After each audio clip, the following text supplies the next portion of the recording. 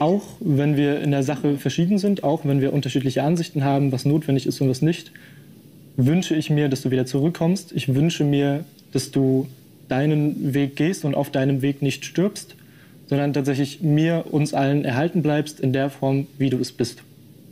Und umgekehrt, du lässt ja auch einen Freund zurück. Weh. Hendrik, ich, ähm, Tag auch. Was liegt denn da unter dem Baum? Es ist ein super tolles Geschenk von Übertage. Wir reacten mal wieder auf ein schreckliches Video, wie es so liebt, in die tiefen Abgründen der Linken zu schauen, wie sie sich blamieren im World Wide Web, wie man so schön sagt. 400, über 400.000 Aufrufe auf diesem Video, x tausend Kommentare, die sagen, wie schlimm ist diese linke Person und wie toll ist dieser Offizier. Wir reacten auf das Video Bundeswehr trifft Linksjugend. Das wird ganz spaßig wahrscheinlich Ja, werden. wir freuen uns schon drauf. So, und äh, da würde ich sagen, nicht weiter quatschen. Wir packen das Geschenk direkt mit euch aus. Ja. Ich bin Soldat und das heißt, im äußersten Fall müsste ich auch mein Leben geben oder riskieren, um andere Menschen zu schützen. Wenn ich auf der Straße angegriffen werde, dann bin es in erster Linie ich, der angegriffen wird. Wenn Deutschland angegriffen wird, dann bin ich nicht Deutschland. Du hast doch nicht annähernd eine Ahnung, was es bedeutet, im Krieg zu sein. Bringt uns das trotzdem dem Frieden entgegen, wenn ich jemandem eine Kugel in den Kopf jage.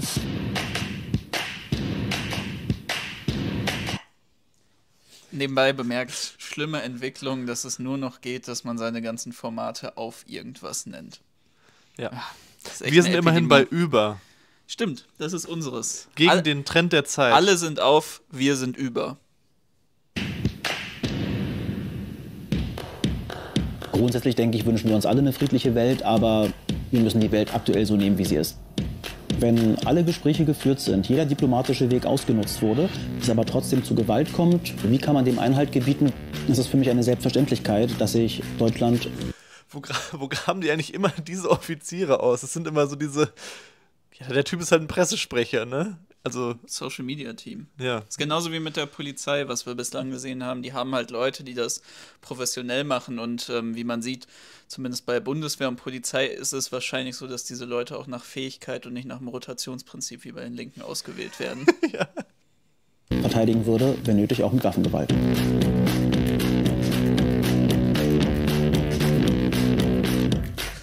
Wenn man behauptet, dass man irgendwie einen wehrhaften Nationalstaat braucht, besonders in Deutschland. Ach, jetzt setzt der Gitarrenbeat ein.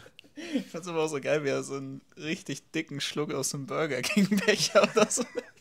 Jetzt wollen wir nicht gleich hier die Konsumkritik. Nein, also. nein, nein. Hm. Soll er ruhig seinen Burger Ey, komm, King Becher von trinken? genau solchen Leuten von der Linksjugend wurde ich schon mal auf einer Demo angesprochen, weil ich eine McDonalds-Tüte dabei hatte. Also, Das ist meine Rache jetzt. Dann zeugt das für mich einfach von Geschichtsvergessenheit. Wenn man sich Waffen und Panzer anschafft, dann ist es in erster Linie zum Töten, dann ist es in erster Linie für Krieg. Zu sagen, wir brauchen eine Aufrüstung der Bundeswehr, besonders in dem Maße, wie es passiert, halte ich für Kriegsterror.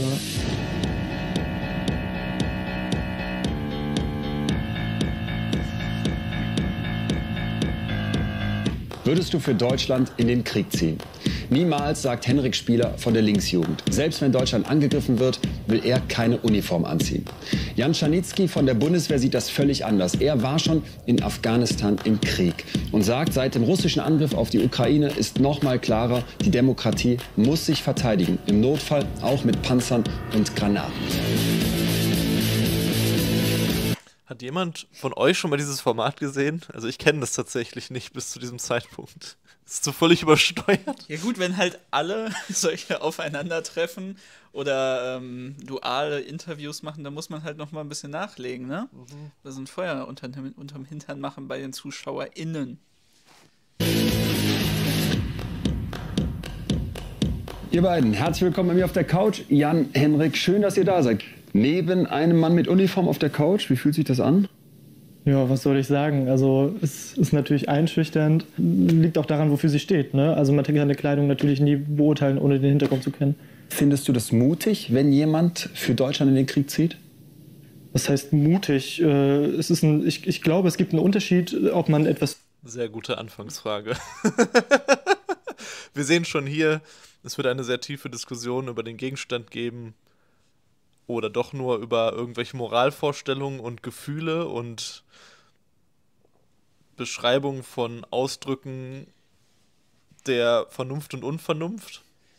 Kollege, wie fühlst du dich eigentlich dabei, wenn jemand für Deutschland kämpft?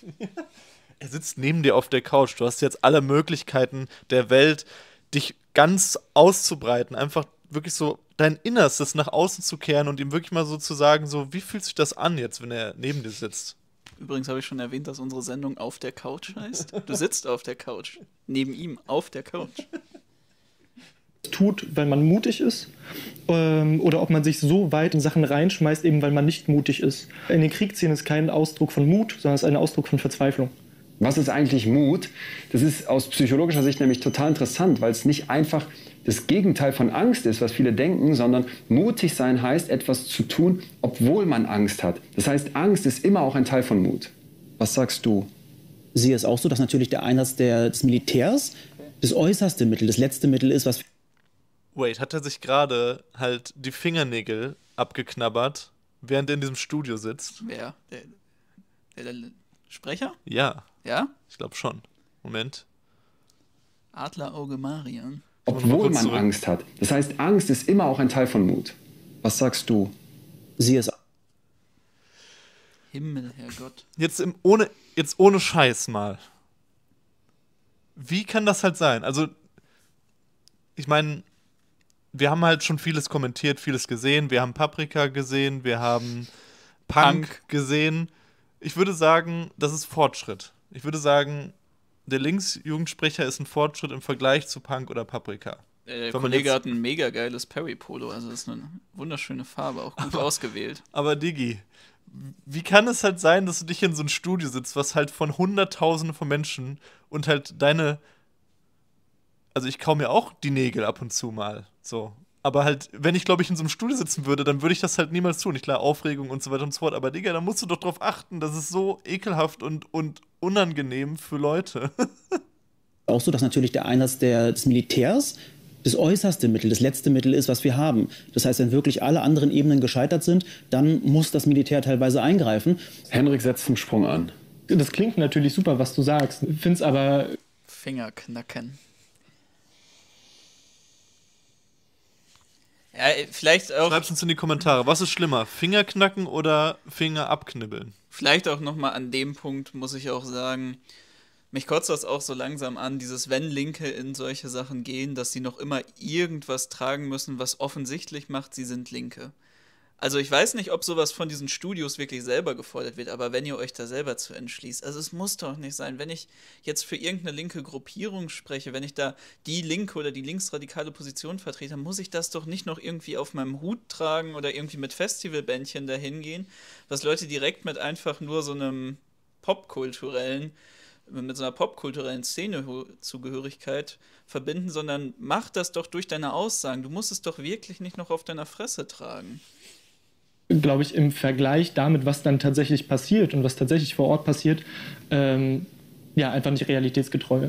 Also wenn man einfach den Elefanten im Raum nimmt, beispielsweise mal Afghanistan und sagt, was hat da geklappt an humanitärer Hilfe? Also es gab ja Ausbildung von Polizeikräften, Das ist auch so cool. Wie die halt einfach dann so, ja, Quelle bundeswehr.de. ist natürlich super neutral. So, der Typ erzählt halt irgendwas von Afghanistan und ich nehme als Quelle die Bundeswehr selbst, die ein Teil des Diskussionspartners ist. Sehr gut. das Militär wurde unterstützt und so weiter und so fort. Und jetzt regieren die Taliban das Land, nachdem man äh, ja einfach sprunghaft eigentlich schon abgezogen ist aus dem Land. Dann frage ich mich, dass es tatsächlich hilft, wenn es beispielsweise in Afghanistan oder auch im Kosovo ähm, eben in der Vergangenheit schon nicht geholfen hat. Wenn du im Rückblick jetzt auf diesen Einsatz in Afghanistan guckst, hat sich das gelohnt? Ich denke, es war es wert. Einmal an der Seite unserer Verbündeten zu stehen und zum anderen eben die Möglichkeit zu eröffnen, dass die Menschen eine Perspektive haben. Ich selber habe dort unten Fluglotsen ausgebildet. Die humanitäre Hilfe hätte es un unseren Einsatz auch gar nicht geben können, weil wir für die Sicherheit gesorgt haben. Afghanistan? Afghanistan. Also das ist ja jetzt auch wirklich eine Thematik. Wenn ihr da nochmal eine tiefere Analyse zu hören wollt, das können wir jetzt an dem Punkt nicht geben. Hört in unsere Folge rein, die haben wir mit einem afghanischen Genossen zusammen gemacht. Zwei Folgen sogar.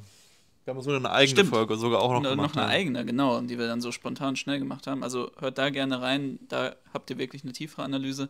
Aber jetzt kurz gesagt, also erstmal überhaupt als eine linke Person, so, ne, ich weiß gar nicht, was jetzt eigentlich deine Positionen da sind, Kollege, aber wirklich in so eine Diskussion reinzugehen und als erstes eine Kritik an dem eigenen Maßstab, den die Bundeswehr an diesen Konflikt angelegt hat, zu machen. Und zwar nach ihrer eigenen Logik, von wegen das, was ihr euch da gesetzt habt, das hat ja gar nicht funktioniert, anstatt erstmal nachzufragen, was überhaupt die Idee dahinter war, die Bundeswehr dahin zu schicken und das, was sie da eben als humanitäre Aufbauarbeit gemacht hat, überhaupt bedeutet hat für den deutschen Staat und was man sich da für einen afghanischen Staat schaffen wollte. Das wäre doch erstmal gut und nicht einfach nur zu sagen, ja, also so wie Afghanistan gelaufen ist, auch nach euren Maßstäben ziemlich beschissen. Ja, da wird er wahrscheinlich jetzt irgendwie so ein bisschen sagen, ja, aber ich bin ja auch stolz hier auf meinen Einsatz in Afghanistan, das war auch gut, was wir gemacht haben, aber natürlich stimmt es, dass man das hätte besser machen können. Das sagen die ja alle. Ist ja auch klar, es war ja auch ein Debakel. Also. Ist, wenn man in Deutschland sitzt, gefühlt sehr weit weg, finde ich. Lasst uns deswegen mal genau den. Lasst uns nicht darüber reden. so, so schwieriges Thema. Also jeder darf einmal ganz kurz sein, seine Gefühle dazu äußern und dann einfach weiter geht's. Fokus jetzt in unsere Nähe legen. Wir haben Krieg in Europa. Und da erlebe ich bei, bei ganz, ganz vielen Leuten, auch bei mir selber, dass man doch wirklich plötzlich wieder Fragen nach vorne holt, die vorher nicht da waren. Und eine, die ich, die ich ganz zentral finde, von der ich mir jetzt wünsche, dass ihr ganz kurz nur antwortet, ist die, ob man für Deutschland in den Krieg ziehen würde. Bevor die beiden antworten, jetzt du. Würdest du für Deutschland in den Krieg ziehen? Ganz ehrlich, deine Meinung in die Kommentare. Nein, ich würde definitiv nicht. Schreibt uns bitte auch eure Meinung dazu in die Kommentare. nicht für Deutschland in den Krieg ziehen, ähm, weil es eben nichts tatsächlich mit, mit Wert. Hat er sich eigentlich sein Polohemd abge Abgeklebt, ja, oder? Das, das ist so ein schwarzer Kleber. Das muss er wahrscheinlich machen wegen Marken. Ja. ja. aber man sieht es tatsächlich in der Szene, wo er ähm, fit gemacht wird für die Aufnahme. Ja, okay. Vorstellung oder sonst was zu tun hat, sondern weil es einfach die Reduzierung meines, meiner selbst oder meines Individuums, wie auch immer, äh, auf pure Nationalität und pure künstliche Zuschreibungen ist. Ich würde die. So halt das ist halt so, das ist ja wirklich perfekt, wie er, wie er darauf reagiert, weil ich glaube, so 95% der Leute, die dieses Video sehen, werden halt genauso auf so einen Satz halt reagieren. So, ich benutze jetzt das Wort mal, ich schwurbel halt irgendwas Eigenartiges daher, was halt so ja, irgendwelche Konstrukte, die Nation und so weiter und so fort. Wenn der dir schon so eine persönliche Frage stellt, was ja einfach wieder nur dieses moralische Geblauber ist, dann sag doch einfach nein so. Wieso, wieso will, wie, was soll ich denn für den, für den Standort Deutschland sterben? Was soll ich denn sterben? Ich will doch keinen anderen Menschen töten. So, habt euch das mal vor Augen geführt, was es bedeutet, halt andere Menschen zu töten auf Befehl? So, das sind doch halt Sachen, wenn man dann schon darauf antwortet, so, oder wenn das halt so aufgebaut ist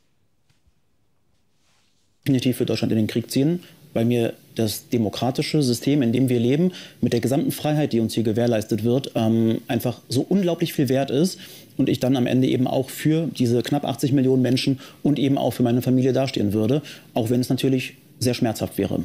Ihr beiden, ich glaube, dass gerade diese... Das ist halt basically dein Job. so, also, ja, seine, kann das ja auch gut sagen. Ja, es hat seine komplette Funktion einfach. Fragen in so, so vielen Köpfen eine Rolle spielen und tut mir den Gefallen, helft einmal ein bisschen umzubauen, Platz zu schaffen.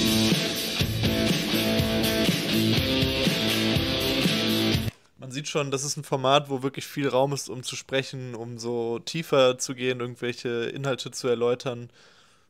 Es ist sehr viel, sehr viel Platz einfach. Naja, geredet wird in allen Formaten. Hier will man es etwas attraktiver machen und interaktiver wahrscheinlich.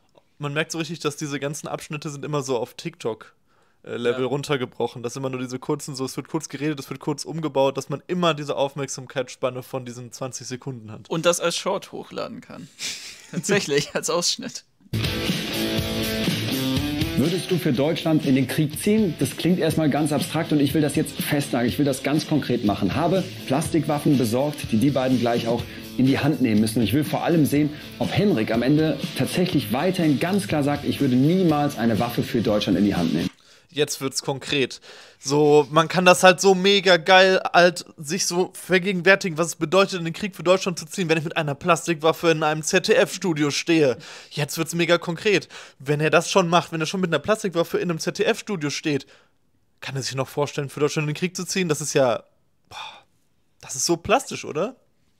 Ja, absolut. Vor allem äh, haben wir gerade eine Person, die wahrscheinlich schon etliche reale Feuerwaffen abgefeuert hat, kriegt dann das ein Spielzeug in die Hand gedrückt. Was haben wir vor? Mir ist wichtig, dass wir wirklich einmal versuchen festzulegen, was Momente sind, wo ihr sagen würdet, da wäre ich vielleicht bereit, zur Waffe zu greifen. Die Waffen, die wir hier haben, sind Plastikwaffen, das ist völlig klar. Und das soll auch nicht irgendwas ersetzen oder runterspielen. Aber mir geht es genau um diesen Akt, dass man mal sagt, okay, da könnte ich mir vorstellen, für Deutschland die Waffe in die Hand zu nehmen. Und dann habe ich jetzt verschiedene Szenarien für euch dabei. Und wenn ihr sagt, da würde ich für Deutschland zur Waffe greifen, steht ihr auf, nehmt euch die Waffe, setzt euch wieder hin. Das Mandat läuft noch. Würdest du die Waffe in die Hand nehmen, um für die Bundeswehr nach Mali zu gehen, um dort für eine UN-Friedensmission zu kämpfen?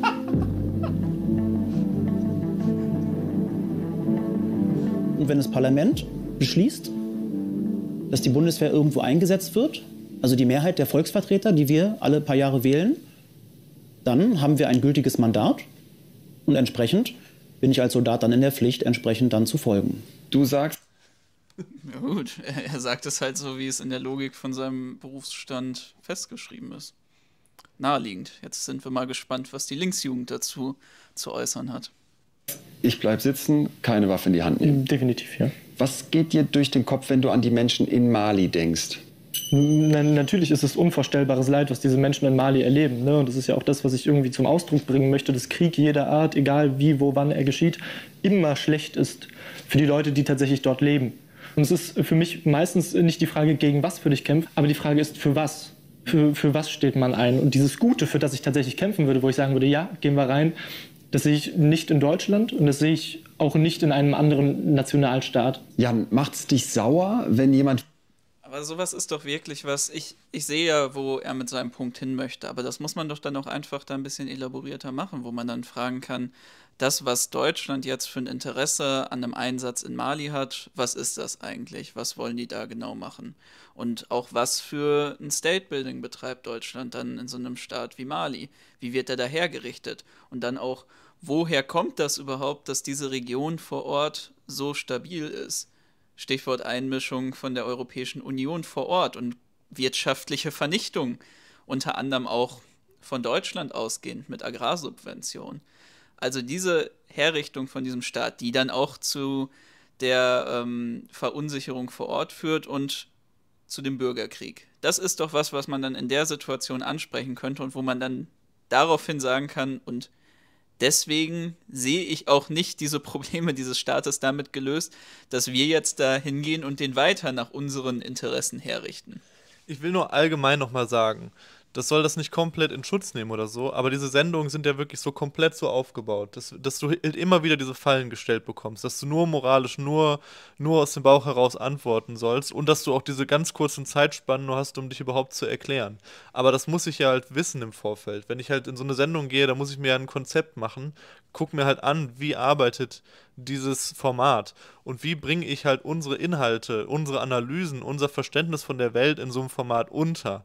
Und das gelingt ja offensichtlich überhaupt nicht.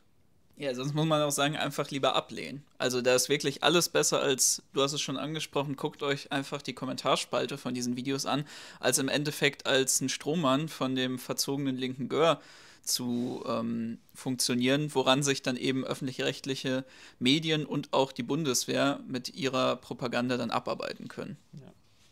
die Henrik sagt, ich lasse die Waffe liegen? Artikel 4 Absatz 3, niemand wird zum Kriegsdienst gezwungen. Also entsprechend ähm, kann ich das nur respektieren und akzeptieren.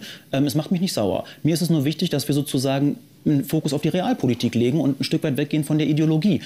Das ist doch eigentlich das wichtigste Ziel, dass wir den Es ist komplett ideologiefrei, was Deutschland in Mali macht. so, was ist das? Einsatz in Mali zertifiziert ideologiekritisch.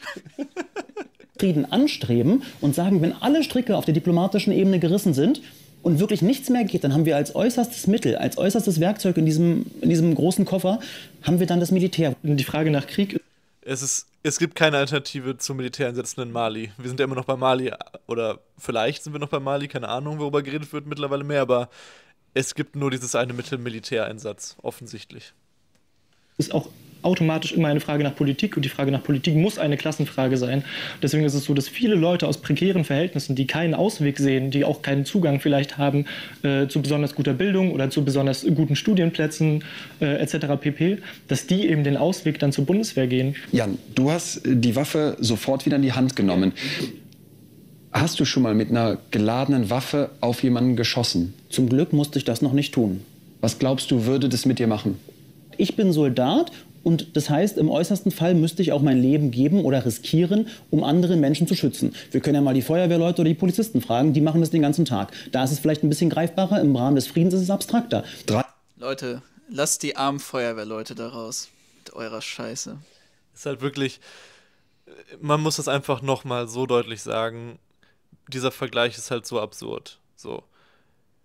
Die Feuerwehr wird niemals in die Situation kommen, wo es in dem Teil ihres Berufsstands ist, irgendwelche Menschen zu töten.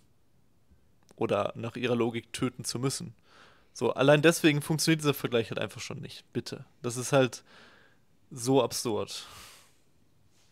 63 Prozent der Bundesbürger geben in einer repräsentativen Umfrage an, dass sie sich Sorgen machen, dass Deutschland in den Krieg in der Ukraine hineingezogen werden könnte. Und damit kann man ja schon sagen, ist es in vielen Köpfen nicht mehr abstrakt. Deutschland wird angegriffen. Greifst du Dieses Lehrbuch, was er immer hat, finde ich auch geil. Da sitzt, er sitzt wirklich wie so ein Lehrer halt in so einem, in diesem Büchlein. So ein Klassenheft. dann zur Waffe?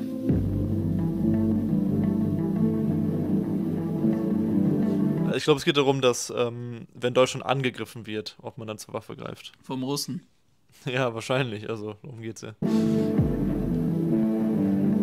Er bleibt sitzen, die Kamera so, voll, der Kameramann ist übel schockiert, so, selbst, selbst wenn, wenn Deutschland angegriffen wird, dann, dann greift er nicht zur Waffe, er war so, habt ihr das gesehen, Auf jeden Fall. Das wäre dann natürlich im Verteidigungsfall nochmal zu differenzieren, wo ich dann eingesetzt werde. Wahrscheinlich nicht im Rahmen der Öffentlichkeitsarbeit, sondern als Offizier, eventuell als Führungskraft. Deutschland wird angegriffen, du sagst, auch da greife ich nicht zur Waffe. Was machst du in dem Moment? Wenn ich Deutschland verteidige, dann verteidige ich die herrschenden Verhältnisse in diesem Land. Das möchte ich aber nicht, weil die Frage ist, was sind denn die herrschenden Verhältnisse und wo finden wir uns denn wieder? 14 Millionen Leute in Deutschland leben in Armut. Möchte ich das verteidigen oder sage ich nicht lieber, ich würde etwas verteidigen, was tatsächlich eine gute Institution wäre? Die Panzer rollen vor, es wird tatsächlich scharf geschossen. Man kann auf der Straße angegriffen werden, getötet werden. Greifst du dann zur Waffe?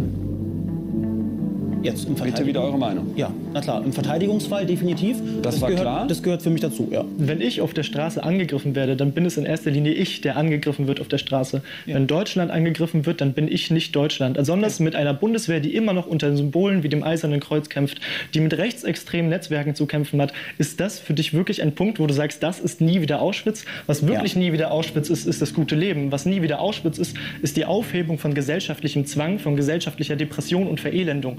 Und das ist der Punkt, für den ich kämpfen Gut, würde. aber an dem Punkt, an dem Punkt, an dem Punkt ähm, muss ich sagen, da, da Also sowohl jetzt als auch in dem Punkt davor argumen- argumentiert er ja auch rein in, in gar keiner grundsätzlichen Opposition, sondern er argumentiert eigentlich in so einem Sinne von, dass es halt nicht vernünftig reformiert. Also quasi, wenn jetzt, also wenn man das jetzt ganz genau nimmt, was er sagt, wenn jetzt in Deutschland weniger Menschen arm wären oder nur sehr, sehr wenig Menschen wirklich arm wären und das gleiche verteilt wäre, und wenn die Bundeswehr vielleicht ein bisschen inklusiver wäre und vielleicht anstatt unter einem eisernen Kreuz, ich überspitze jetzt und polar polarisiere jetzt mal, unter einer Regenbogenfahne ähm, kämpft, dann wäre das doch äh, alles total toll. Dann ist das doch eigentlich ein Verein, der, der super funktioniert. Und äh, das willst du wahrscheinlich gar nicht sagen, ne? Das ist auch eine Sache, dass es gar nicht eine Position wahrscheinlich ist, aber letztendlich drückst du das ja damit aus, indem du halt nicht sagst, nein, es ist halt eine grundsätzliche Frage für mich. So. Naja, das sagt er ja schon am Anfang. Und das ist nämlich das, was ich viel häufiger sehe. Ich stimme dir absolut zu mit dem, was du sagst. Aber was man ganz häufig sieht, ist, dass die Leute erst diesen allgemeinen Punkt machen, aber ihn dann nicht weiter ausführen, sondern dann einfach, weil das sind, das sind diese ganzen, das ist wirklich mal eine harte und radikale und auch offensive Position, wirklich zu sagen, dass, also wenn es zu diesem Verteidigungsfall von Deutschland kommt, von jetzt irgendeinem anderen Staat, dann entsteht das aus dieser Staatenkonkurrenz zwischen Deutschland und einem anderen Staat. Dann sind die beide da eigentlich gleichsam dran schuld an diesem Aneinanderreiben von ihren Interessen, was aus ihrer eigenen Wirtschaftslogik entsteht. Das ist ein knallhart radikaler Punkt. Den will man in sowas nicht sagen. Und dann teasert er ihn an und ich glaube auch wirklich, dass er da eine Klassenposition hat, das hat er ja auch schon gesagt. Aber was halt einfach ist und was bei den Leuten ankommt, weil sie es schon von sich aus kennen, sind rechtsextreme Netzwerke bei der Bundeswehr, bei den Spezialkräften, also voll die schwierigen Symboliken noch aus dem Dritten Reich und in Deutschland läuft ja doch alles nicht so rund, weil der Rentner muss noch Pfand sammeln und mit den Flüchtlingen wird auch nicht so nett umgegangen. Und das sind die Punkte, die kennen die Leute, dann flüchtet man sich wieder darauf. Das ist halt einfach schade. Das ist schade scheiden sich so ein bisschen die Geister, weil ich mir sage, das gute Leben. Also wir haben jetzt wirklich das absolute Glück und das muss man sich mal vor Augen führen, dass wir einfach in einer sicheren Bubble groß geworden sind. Wir sind im Frieden groß geworden. Äh, sorry, du hast doch nicht annähernd eine Ahnung, was es bedeutet, im Krieg zu sein, was es heißt, dieses Leid zu erleben. Und zu sagen, ich würde Deutschland jetzt nicht verteidigen, weil es eine abstrakte Institution ist, die für irgendwelche Werte steht. Bei allem Respekt, die Demokratie ist das Beste, was wir seit langem haben. Gibt es einen Moment, Henrik, jetzt an dich gefragt. Wo und das ist dazu gesagt immer noch, das haben wir auch schon häufig gesagt, wenn wir in diesen Videos feststecken, die wir für euch reacten, dass, dass einfach das eine Ebene ist, diese Argumentation, diese moralische Ebene, wo die einfach viel besser drin sind und wo das auch viel besser zieht. Und man sieht das halt an sowas.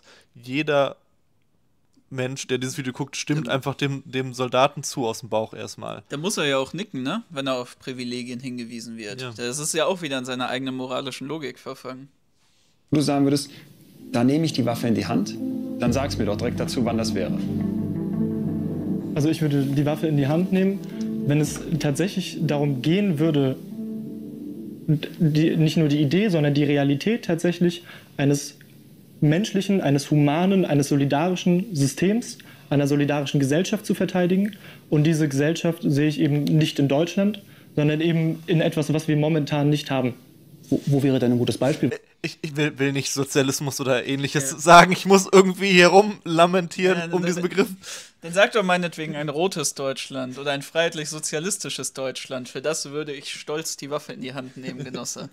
Sag es doch wo das so wäre, wie du es gerade beschreibst. Ja, eben gar nicht. Ich habe ja gesagt, so. das haben wir nicht. Das haben wir allgemein nicht, okay. Richtig, okay. das haben wir allgemein nicht. Ja. Natürlich habe ich freie Meinungsäußerung und sonst was, aber nur im Rahmen dessen, dass ich arbeite und dass ich konsumiere und produziere. Das okay. stimmt nicht. Jeder hat das Recht auf freie Meinung, egal ob ich arbeite oder nicht arbeite.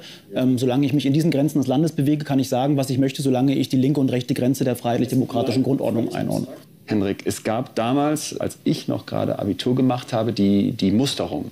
Und da gab es noch mal wieder früher Verfahren, wo man dann quasi sagen konnte, ich will nicht den Dienst an der Waffe machen. Und da wurden sehr, sehr krasse, sehr konkrete Fragen zum Teil gestellt. So ungefähr ging das zum Beispiel auch in die Richtung, deine Freundin wird vergewaltigt und umgebracht und äh, gerade massiv bedroht. Kannst du dann eine Waffe in die Hand nehmen, um dich zu verteidigen? Ja. Es wird immer schlimmer. Das finde ich aber auch wirklich einfach so skurril, dass das die, der Standard für eine Musterung ist. Ja, Wenn er da Ja sagt, dann, dann nehmen wir ihn. Der ist auf jeden Fall fit dafür. Es ist halt einfach so eine Abstrahierung von allem. Ja, lass uns da wirklich weitergehen, weil da. Ja. Definitiv, aber meine Freundin ist nicht Deutschland. Oder andersrum, Deutschland ist nicht meine Freundin. Das heißt, was ich in diesem Moment verteidige, ist tatsächlich mein Leib, meine Seele und so weiter und so fort. Für das Deutschland ist aber nicht solidarisch. Also sorry, das ist überhaupt nicht solidarisch. Aber warum muss ich mir jetzt sagen lassen, was solidarisch ist und was nicht von einem, der für Deutschland kämpft? Ich kämpfe auch für dich. Ich kämpfe. Weil du es argumentativ erklären sollst und nicht einfach nur das sagen kannst. Auch für unsere Meinungsunterschiede, das ist doch wunderbar. Du sagst, du kämpfst nur für deine enge Familie und für deine, sage ich mal, Freundin, für eine ganz kleine Blase. Und ich sage einfach, ich kämpfe auch für deine Familie, obwohl ich die gar nicht kenne. Das ist doch einfach. Das ist ja schön, aber ich sehe den Zwang daraus jetzt nicht, dass ich das auch für dich tun muss. Du sprichst ja die ganze Zeit von Solidarität, aber die höre ich überhaupt nicht, weil es im Grunde genommen einfach nur um deine Blase geht und du sagst, okay, da gibt es eine Welt, die wir uns vielleicht irgendwann schaffen, die es noch überhaupt nirgends gibt in deiner Wahrnehmung. Als Jan mir sozusagen den Vorwurf entgegengebracht hat, dass ich unsolidarisch. Der Untertitel! Bekam von seiner Oma das kommunistische Ich dachte mir schon die ganze Zeit bei, bei, bei, der Art und Weise, wie er spricht, der muss von der Solid Ostdeutschland sein. Das ist, das ist safe, safe, richtig, richtig stabile Ossi-Oma. auch so ein geiler Moment, um, um jetzt so seine Gefühlslage nochmal zu, in so, in so einem ruhigen Studio. So die, so die sind halt gerade wirklich in so einem Moment so gewesen von so, nein, doch, nein, doch, nein, doch, nein, doch. Ja, so, aber er sagt ja jetzt so, als er mir das dann gesagt hat, ist fast so wie Reality-TV mitten ja, im ja. Leben, so. Sei, hat es in mir einfach Unverständnis ausgelöst, weil ich keine Leute beschützen möchte, die ich nicht kenne. Zeit für die Couch. Ich würde sagen, Oh, Junge, was. Ey, ich habe mich gerade so aufgeregt, so, so aufgeregt darüber, dass er sich da hat reinmanövrieren lassen. Wer sagt, das sind doch. Also nach jedem Standard, nach jedem gesellschaftlichen Standard sind das doch einfach beschissene Aussagen. Und das, ich glaube noch nicht mal, dass er das ernsthaft vertritt, dass der ernsthaft sagen wird, ich würde nicht für andere Leute mein eigenes Leben oder meine Gesundheit riskieren. So, ah, das ist doch auch eine Sache, die egal was du jetzt bist, die uns als Kommunisten und Anarchisten noch eigentlich komplett konträr, als irgendwelche Sozialisten komplett konträr läuft, sowas zu sagen. Ja, und vor allen Dingen, er ist jetzt halt so 100% in dieser Position drin von, er ist halt, wie du es gerade gesagt hast, der, verzo der verzogene Bengel, der halt auf dem, auf dem Kosten dieses Staates und der noch nicht mal halt diese ganze Freiheit hier verteidigen würde, die er halt hier genießt und bla bla bla. Da ist er jetzt hundertprozentig auch selber drin, so. Umbau. Helft ihr mir wieder mit?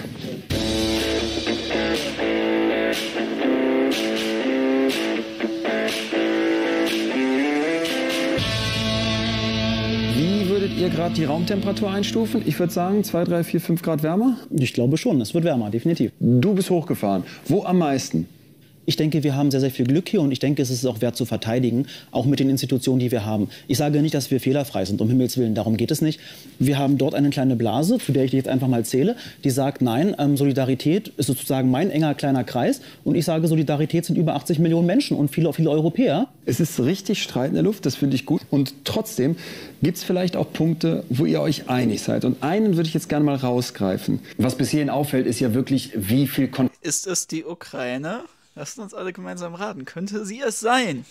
Konflikt da zwischen den beiden ist. Und das finde ich großartig, weil genau dafür treffen wir uns. Und trotzdem will ich ja auch wissen, was kann man konstruktiv tun? Was haben wir in der Hand, um dem Krieg ein Ende zu bereiten? Das ist das gemeinsame Ziel von den beiden.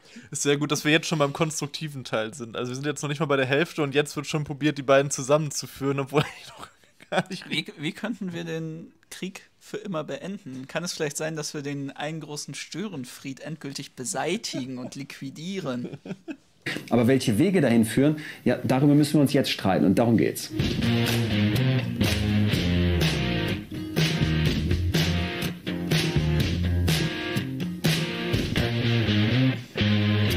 Die Friedenstaube hängt wieder symbolhaft. Ich glaube, was anderes bleibt uns heute nicht übrig. Trotzdem, glaube ich, ist es ja auch eine Frage, was machen wir in Deutschland, um den Frieden in der Ukraine herzustellen? Was können wir dazu beitragen? Idee ist Also ich muss ja wirklich in meinem dialektischen Denken so weit sein, dass ich das jetzt vorhersehen konnte. Meine Güte. Also wow, wow. Ganz einfach. Ich lese jetzt Maßnahmen vor, die nicht ich erfunden habe, sondern verschiedenste Leute, verschiedenste Kräfte in Deutschland. Und dann würde ich euch bitten, wenn ihr sagt, das bringt uns dem Frieden näher, dann steigt ihr auf der Leiter nach oben Richtung Friedenstaube. Erste Aussage. Wir sollten so schnell wie möglich Leopard-Kampfpanzer in die Ukraine liefern. Ich gehe mal vorsichtig einen Schritt nach oben. Einen? Warum? möchte es aber auch ganz klar erläutern. Also ich finde, es ist eine schwierige Sache, die natürlich auf der politischen Ebene entschieden werden muss. Zum einen liefern wir klare Offensivwaffen an die Ukraine. Ähm, andersrum ist die Frage, von wem lassen wir uns sozusagen diesen Konflikt bestimmen? Von dem Aggressor oder unterstützen wir lieber eine Demokratie, die im Grunde genommen in Europa ist und uns um Hilfe bittet? Die Forderung kommt von an. Es bringt auf jeden Fall dem Frieden ganz, ganz, ganz ein Stück näher, wenn man halt sehr, sehr große, sehr, sehr viele Panzer liefert. Das ist immer, das weiß man ja, ne? Das ist ja auch eine, eine Grundposition, das, das ist einfach klar. Mehr Waffen bringt mehr Frieden, das weiß man. Nach einer westlichen Friedensordnung die komplette Unterordnung unter die Vereinigten Staaten von Amerika und zu einem kleineren Teil unter die Europäische Union und ihre Partner bedeutet? Schon. Also Frieden im Sinne von Frieden bei uns und so. Pax Amerikaner. Anton Hofreiter, dem grünen Politiker, und du sagst nein, keine Kampfpanzer in die Ukraine. Genau, also ich stimme dem, der Analyse stimme ich tatsächlich zu. Ah, ne? also, Leute, äh, kurz vor der Umarmung. Ah, noch nicht ganz. ähm, trotzdem Das, das, war mal, das war mal ein realer Moment. So. Der war gut. Das war gut. Es ist einfach ein enormes Anflammen des Konfliktes. Und es ist ja nicht so, dass wir hier von Ta Verteidigungstechnik oder äh, ja, leichteren Waffen sprechen, sondern was war es, ein Leopard-Panzer? Genau, das ist ein massiver Ja, Kampfpanzer, richtig. darüber können, ist es ganz klar. Die Frage ist nur, wenn jetzt Putin sagt, ihr dürft nur Schlafsäcke liefern, wäre das dann okay? Also wo, wo, wo ziehen wir die Grenze? Das würde ich gerne verstehen. Natürlich gibt es eine Unterscheidung zwischen schweren Waffen und nicht schweren Waffen. Ne? Und deswegen auch eine logische Entscheidung. Ah, dieses ganze Geschacher jetzt um Offensivwaffen, Defensivwaffen, leichte und schwere Waffen. Ja, natürlich macht es einen Unterschied, zu was für einer Technologie man dann Zugang hat, aber am Ende des Tages wird das ja einfach nur subsumiert in die allgemeine Wehrfähigkeit des Staates und seiner Armee. Also, ach, cool zwischen das entfacht den Krieg nur noch weiter und es bringt umso mehr Brutalität in diesen Krieg. Ich glaube, dass man humanitäre Hilfe auf keinen Fall unterschätzen sollte, sondern dass es das allererste ist, was man macht. Dass das allererste ist, dass man die Leute, die tatsächlich auf diesen Kriegsgebieten im Krieg mittendrin leben und wohnen, evakuiert, dass man sie rausholt und dass man ihnen konkret hilft. Ich würde den Punkt gerne aufgreifen. Da haben wir jetzt keinen konkreten Absender, aber humanitäre Hilfe für die Ukraine, zum Beispiel in Form von Schlafsäcken und, glaube ich, noch viel, viel mehr, was wir tun können. Wie sehr würde das zum Frieden beitragen? Eure Position auf der Leiter? Also ich gehe ein Stück weit wieder auf die Leiter rauf. Es ist auch wichtig zu sagen, dass humanitäre Hilfe nur ein Teil ist. Deshalb sage ich, nur humanitäre Hilfe wird nicht zum Frieden führen. Das ist meine klare Ansage. Ich sage, dass Frieden mehr ist als die Abwesenheit von Krieg. Und Frieden ist nicht ab da erreicht, wo man sagt, es wird nicht mehr geschossen, sondern Frieden ist ab da erreicht, wo man sagt, es findet keine konkrete humanitäre Katastrophe und keine Spannung mehr statt. Bezeichnend ist, wir sind auf derselben Stufe, beide auch ein ganz schönes Stück Richtung Frieden gestiegen und das finde ich halt in Ordnung. Die Aussage kann man halt so bringen. Ja, das, das, ging, ging in eine Richtung. Das war jetzt halt eine gute Richtung, wo man auch wirklich sagen kann, das war eine präzise Aussage, wo, wo man, wo auch andere Leute vielleicht sagen würden, ja, da kann ich ihm auch zustimmen. So. Ey, aber da muss man auch nochmal kurz sagen, ne, wie schlimm ich das jetzt nochmal besonders finde, im Gegensatz zu den anderen Sachen, die wir gemacht haben. Und ich weiß auch, warum. Und zwar, weil ich finde, dass der Krieg doch eigentlich so ein Thema ist, wo wir ja. als Linke so gut diese ganzen Widersprüche dieser Weltordnung aufzeigen können, wo wir wirklich genau sagen können, das, was hier schon bei uns in unserem Staat, in unserem Land, in unserer Region scheiße läuft mit dieser Wirtschaft. Was bedeutet das denn dann nochmal auf der internationalen Bühne, in diesen ganzen Konflikten zwischen den Staaten und auch in der ganzen Zerstörung, die das in verschiedenen Staaten mit Stellvertreterkriegen dann auch erzeugt. Das ist doch wirklich eigentlich was, wo wir eine richtige Stärke haben, wo wir sehr einfach den Leuten teilweise, das gebe ich zu, auch komplexere Sachen, die wir sonst nicht so gut erklären können, aufzeigen könnten. Und genau deswegen macht mich das heute auch nochmal so traurig, wütend und melancholisch, mir das ansehen zu müssen. Euch wahrscheinlich auch. Trotzdem ist noch Streiter. Frieden schaffen ohne Waffen.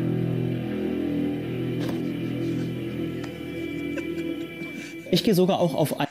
So macht er so widerwillig. Ich habe keine Ahnung. Ich meine, als würde ihm gesagt werden, geh auf dein Zimmer. Er eigentlich Felix? Ich weiß es gar nicht mehr. Wahrscheinlich, weil er jetzt mittlerweile erkannt hat, wie dumm diese Sendung ist so, und wie plakativ. Oder so. Eine Stufe, Frieden schaffen ohne Waffen, aber mit Erklärung natürlich. Die hören wir uns gerne gleich an. Erstmal weiß ich nicht, was du jetzt sagst, ob du da stehen bleibst, weil diese Aussage kommt von Björn Höcke, AfD. Ja, das ist schön. Er kann auch sagen, äh, die Sonne ist ein Stern und dann stimme ich ihm auch zu. Ja. Ähm, der, der, der Punkt ist einfach nur, dass ich nicht weiß, warum man sich dem verschließen sollte. Ich habe das ganz bewusst gemacht, den Menschen von der Linksjugend konfrontieren mit einem AfD-Zitat und ich finde, Henrik ist damit Junge, das ist kein AfD-Zitat, du Clown, Alter. Was ist das denn für eine Aussage? Das ist doch kein AfD-Zitat, nur weil dieser. Das Zitat war von der AfD, das Frieden schaffen ohne Waffen. Ja. Von Björn Höcke. Wie aber, aber das, ist das? Das ist, das ist kein Zitat von ihm, sondern das hat, das ist eine, eine, eine linke Parole, die ist halt schon seit, was weiß ich. Ja, das haben wahrscheinlich alle möglichen ja, Menschen auf der Welt schon mal gesagt. Aber was ist das denn? Das ist, es ist doch auch egal. Ne, nein, aber das ist, das ist doch genau diese, das ist so der Geil halt. Das ist schon wieder diese liberale Logik von, ey, das hat irgendwo ein Nazi gesagt. Kannst du das jetzt noch sagen? Und da finde ich halt tatsächlich auch die, die Antwort von ihm halt ganz geil gewesen, yeah. dass er halt sagt, so ja. Ich weiß gar nicht mehr, was ich dazu. Die Sonne ist ein Stern, okay, das ist oh. sowas von gestört, dieses Format, ey unglaublich souverän umgegangen. Wer sagt nein? Ich weiß es nicht. Hier steht jemand auf Stufe 1, während du schon ganz nach oben geklettert bist. Warum? Natürlich, im Idealfall schaffen wir es, einen Frieden zu bewahren, indem wir sagen, wir schaffen es über eine diplomatische Lösung, also ohne Waffen. Das ist immer das Beste, was für uns passieren kann. Aber es gibt eben auch viele Situationen, wo man in Grunde genommen in eine Situation gezwungen wird, wie der Krieg in der Ukraine. Und ähm, hier würde es den Ukrainern nicht mehr helfen, auf der diplomatischen Ebene, nur auf der diplomatischen Ebene zu bleiben. Denn das hat man seit ungefähr sieben oder acht Jahren mittlerweile probiert ist natürlich immer die Frage, was versteht man als Waffe? Wenn man sagt, man setzt Diplomatie ein, wenn man sagt, man setzt wirtschaftliche Sanktionen ein, dann ist das auch eine Waffe. Dann ist es aber keine Waffe, die schießt, sondern es ist halt eine Waffe, die anders trifft, nämlich strukturell, nämlich politisch, ökonomisch und so weiter und so fort. Kommen wir zu euch. ganz konkret. Ist der jetzt für Wirtschaftssanktionen dagegen? Ich verstehe es nicht. ich würde mal sagen, das lassen wir einfach mal offen. Ein Vorschlag jeweils, von dem ihr sagt, der würde uns dem Frieden wirklich näher bringen, wo ihr sagt, da gehe ich sofort auf die Spitze der Leiter und dann kann der andere darauf reagieren. Du zuerst. Mein Vorschlag wäre eine klare Resolution im Sicherheitsrat, die das Vorgehen der ähm, russischen Regierung verurteilt und diesen Krieg sofort zu unterbinden lässt. Ja. Das wäre, finde ich, ein wichtiges Zeichen an die Weltgemeinschaft. Dein Vorschlag, was glaubst du, würde uns dem Frieden am nächsten bringen? Humanitäre Hilfe zu leisten, in der Form, dass man sagt, Menschen, die in Kriegsgebieten leben, zu evakuieren, die Freiwilligendienste dazu, achso, ja, ich gehe ja schon, ja.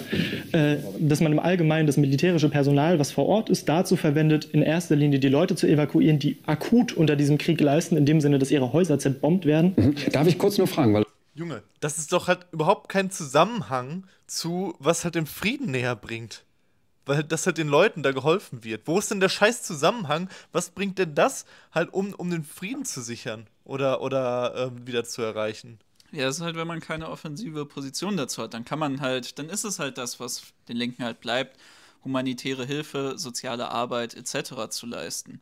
Ich meine, es ist natürlich auch irgendwie traurig, wie wenig das hier überhaupt irgendwie kritisch hinterfragt wird, was der Bundeswehrtyp da von sich gibt mit seinem Pochen auf die Diplomatie.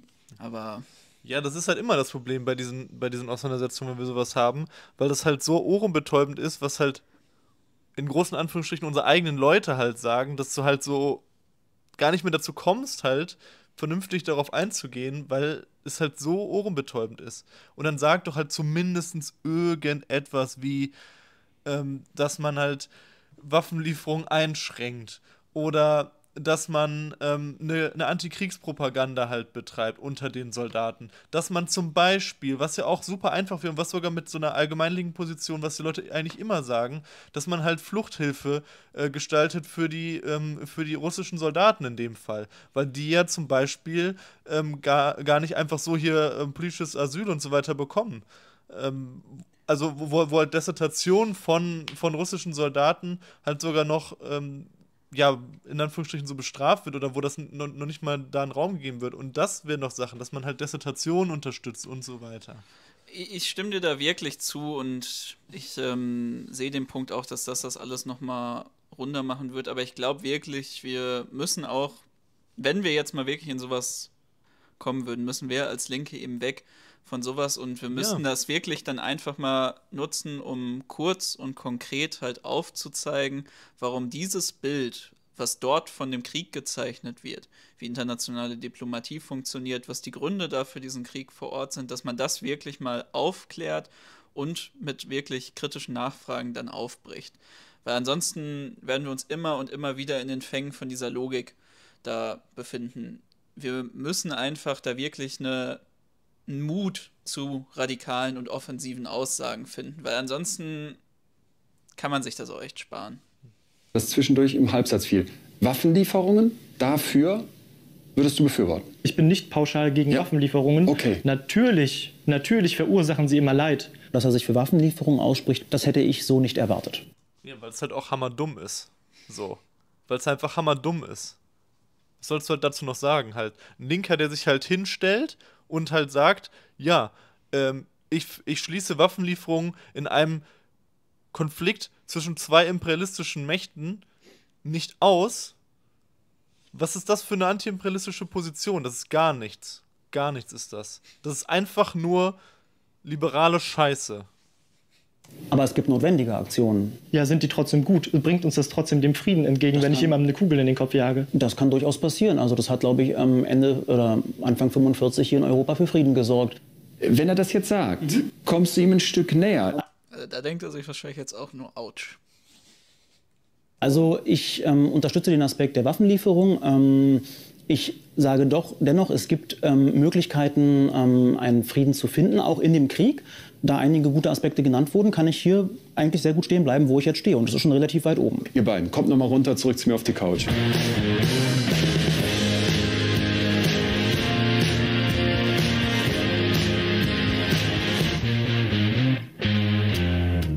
Wir waren auf Leitern, wir haben wirklich viel gestritten, wir hatten schon Waffen in der Hand und haben Friedenstauben gehisst. Was wir alles erlebt haben in 20 Minuten. Oh mein Gott. Verrückter Nachmittag, wenn ich das Mutti erzähle. Gab es Momente, wo ihr sagen würdet, da sind wir uns schon näher gekommen? Ich glaube, wo wir uns einig sind oder wo wir uns sehr, sehr nah sind, ist die Frage gegen, äh, was man sozusagen kämpfen müsste oder gegen was es sich lohnt zu kämpfen. Äh, da, wo es sich dann spaltet und äh, da, wo es tatsächlich auch einfach eine grundlegende, grundlegende Spaltung ist, ist die Frage für, was man kämpft. Ich finde es wichtig, nochmal. So, das ist wild. Aber so wild. Naja, ich meine, man kann ja schon jetzt äh, sagen, irgendwie mit dem Aufkommen des Ukraine-Kriegs, das hat uns doch alle ein bisschen näher zusammengerückt, so von links bis rechts. Aber das kann halt auch nur passieren, wenn du halt 0,0 die Motivation hinterfragst, in welcher Funktion und in welchen Gedanken Deutschland stattfindet in Kriegshandlungen. Das kann ja nur dann funktionieren, wenn du so, dass du sowas sagst ganz klar zu sagen, was ich auch wirklich gut finde, dass eben dieses Thema Waffenlieferung auch eine Rolle spielt. Damit habe ich tatsächlich nicht gerechnet, ähm, dass er sich dafür ausspricht. Das finde ich gut, Henrik, weil es sehr realitätsnah ist. Und da, das ist für mich auch eine ganz klare Notwendigkeit, die wir da in diesem Krieg haben, um eben den, den schwächeren Part zu unterstützen. Und gleichzeitig natürlich die humanitäre Hilfe steht für mich außer Frage, dass wir eben die Bevölkerung schützen müssen. Psychologisch haben wir hier natürlich zwei völlig unterschiedliche Mindsets sitzen, völlig unterschiedliche Blickwinkel auf die Welt. Die kommen nicht von irgendwo. Du gehst gezielt in Schulen und sprichst dort mit jungen Menschen über die Bundeswehr. Was ist die Kernbotschaft, die du diesen jungen Menschen in Deutschland mitgibst? Was ist der Auftrag der Bundeswehr? Was sind die NATO? Was sind die Europäische Union? Was bedeutet es eigentlich für einen persönlich, im Auslandseinsatz zu sein?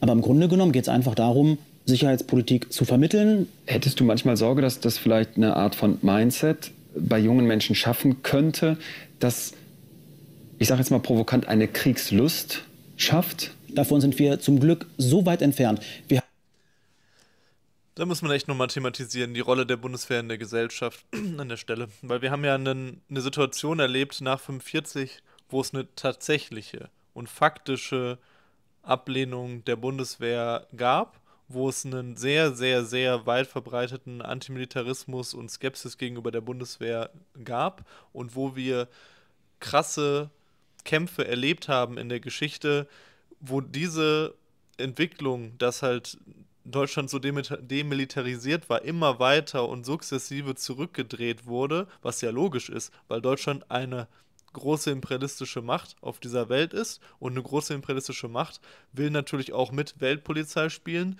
will da den USA, klar, können wir das nicht, weil äh, der Imperialismus in Deutschland kann das nicht, weil natürlich ähm, einfach die, die militärischen Möglichkeiten nicht so gegeben sind, aber will natürlich trotzdem einen Teil von dieser Weltpolizei auch spielen. Und das ist die primäre Funktion der Bundeswehr, wie sie gerade existiert, nicht irgendwie zur Verteidigung und zu sonst irgendwas und bla bla bla, sondern das ist die primäre Funktion. Und diese Entwicklung hin, dass Deutschland sich erlaubt, in militärischer Form wieder international auf der internationalen Bühne sich als Weltpolizei aufzuspielen, das ist eine Entwicklung, die nur mit einer Militarisierung auch dieser Gesellschaft einhergehen konnte, wo dann halt auch der Widerstand aus der Bevölkerung gegen diesen Militarismus gebrochen wurde und eine sukzessive Scheibchentaktik, die dann letztendlich in so einer Situation, wie wir sie jetzt erleben, natürlich nochmal dramatisch zunimmt, weil wir logischerweise mit dem Krieg in der Ukraine eine berechtigte Angst oder eine berechtigte Sorge in der Bevölkerung erleben, was denn jetzt halt hier passieren könnte. Und die wird ja auch bewusst durch die Propaganda geschürt. Es wurde ja von Anfang an bei dem Ukraine-Krieg gesagt, ja, jetzt Putin marschiert, steht halt morgen vor Berlin. Halt solche, solche Dinge gab es ja im Prinzip, was halt völlig wahnsinnig und abseits jedweder militärischer Realität ist, wie wir ja auch ganz konkret erleben in dem Ukraine-Krieg, dass offensichtlich ähm, Russland nicht in der Lage ist, einfach so durchzumarschieren, sondern ähm, mit der geballten Kraft der, der imperialistischen äh, Großmächte USA und, und äh, Europa halt auch einfach von der allein schon technischen Seite her gar nicht mithalten kann. Und das ist doch sehr, sehr bedenklich, dass diese Militarisierung immer weiter stattfindet. Dass das halt solche Heinze halt wie er dann da irgendwie die Kinder indoktrinieren mit ihrer Scheiße. Aber er hat ja auch zwei sehr gute Argumentationsstränge, die wir eigentlich jetzt die ganze Zeit durch ähm, verfolgen können durch die heutige Sendung und wo man auch sagen kann, da fehlt es jetzt wirklich an einer richtig guten Gegenposition, wenn wir uns das anschauen. Und das ist ja zum einen eben diese Bezugnahme auf die Befreiung von den Konzentrationslagern und die Zerschlagung von Nazi-Deutschland. Das zeigt uns eben, es braucht, also es braucht notwendigerweise eine Militärmacht, die eben die richtig Bösen daran hindern kann, ihre Völkermorde, ihre totalitären Systeme durchzusetzen. Und da ist er natürlich dann moralisch auch sehr stark gefragt, ja, was soll er darauf sagen? Ne? Wahrscheinlich auch in der Linksjugend Ostdeutschland bezieht man sich auch noch positiv auf die Alliierten und ähm, hat vielleicht irgendwo noch eine kleine, ein paar kleine Fähnchen zu Hause rumstehen. Und neben die andere große Linie, wo er jetzt auch gerade aus der Linksjugend keine gute Antwort drauf geben kann, und das ist eben diese Rationalisierung von eine moderne, liberaler Staat braucht eine Armee, um sich verteidigen zu können. Und wenn man eben dann einfach nur sagt, ja, aber ich kann mir ja auch eine Gesellschaft ohne Staat, äh, ohne Militär vorstellen, dann muss man das halt auch wirklich konkret begründen können, wie das dann aussehen wird und das nicht einfach so hinstellen, weil wie du gesagt hast, ein kapitalistischer Staat braucht ab irgendeinem Punkt eben ein Militär zur Verteidigung der eigenen Interessen und zur Nutzbarmachung von anderer Leute Gebiet und Unterordnung unter die eigenen Interessen. Und das ist was, was wir eben hier bei ihm sehr gut sehen, dass er diese beiden Punkte vertritt und bei ihm eben nun mal, dass er das leider nicht widerlegen kann. Wir haben so eine pazifistische Grundgehaltung. Das Grundgesetz von vorne bis hinten verbietet Angriffskriege und ähnliches. Also wir sind so defensiv ausgerichtet. Wir haben ein Militär, das im Grunde genommen noch nie so klein war, wie es heute ist. Dieser Begriff Kriegslust ist völlig irreführend. Was für ein Bullshit. Was für eine miese Lüge. Was für eine miese Lüge, ohne Scheiß. So, das ist halt einfach so ein Mist. Ich habe es ja gerade sehr gut aufgezeichnet, glaube ich, so, dass, dass es halt einfach Deutschland tatsächlich mal demilitarisiert war. Und das kannst du halt einfach nicht aus der Geschichte streichen, mein Lieber. Und auch absolut unpassend. Niemand hat Lust auf Krieg. In der idealen Welt bräuchten wir keine Armeen und keine Waffen. Aber diese ideale Welt gibt es einfach nicht. Beim Stichwort Kriegslust muss ich an eine Studie denken, die vor einigen Jahren in Deutschland durchgeführt wurde. Da wollte man wissen, wer geht zum Militär und wer macht Zivildienst. Und da haben sich tatsächlich Persönlichkeitsunterschiede gefunden. Die zum Militär gegangen sind, die waren emotional stabiler und auch offener für neue Erfahrungen. Aber die waren auch eher wetteifern statt kooperativ, die waren eher aggressiv und die haben sich weniger um die Gefühle von anderen geschert. Henrik nix sofort beim Wort Kriegslust. Warum? Äh, weil das eben genau das ist. Also ich hatte, also das, was du machst, ich glaube, du gehst in Schulen ne, und betreibst da ja, Agitation. Ähm, ich betreibe keine Werbung, ich informiere über Sicherheitspolitik. Das ist ein ganz wichtiger Unterschied. Genau, aber die Frage ist, kann man nicht werben, wenn man in eine Schule geht und über Sicherheitspolitik im Namen. Wenn man das Ganze differenziert aufzieht, kann man das durchaus. Junge, äh, wie geil, wie leicht der Typ aus der Rolle zu bringen ist, ist halt so geil. So, ich wette mit dir, der Typ ist halt mega geschult und ist halt an sich ein charismatischer Familienvater, so äh, Mitte-Typ und so.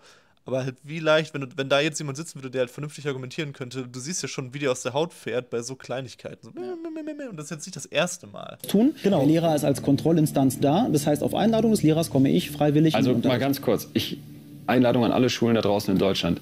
Würdet ihr beide auch zusammen mal in eine Schule gehen? Definitiv, sofort. Wer darauf Lust hat, liebe Schulleitung, meldet euch, weil ich glaube, das wäre wirklich differenziert. Also wenn ich mal Lehrer wäre, direkt beide ausgeladen.